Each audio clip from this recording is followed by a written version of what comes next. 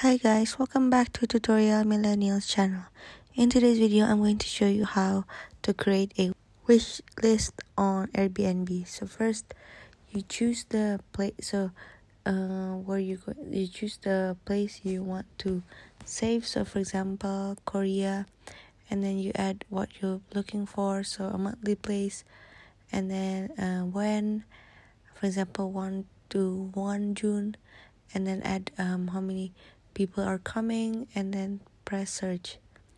And then now for example I want to add to my wish list um, um, this place.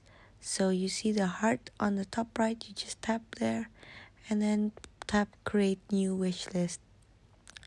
And now you name the wish list.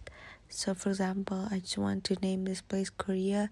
So it's easier when I looking for this place and now create and then now you just tap wish list and then your um the place you've saved is gonna be there. So um i hope this video is useful and thank you for watching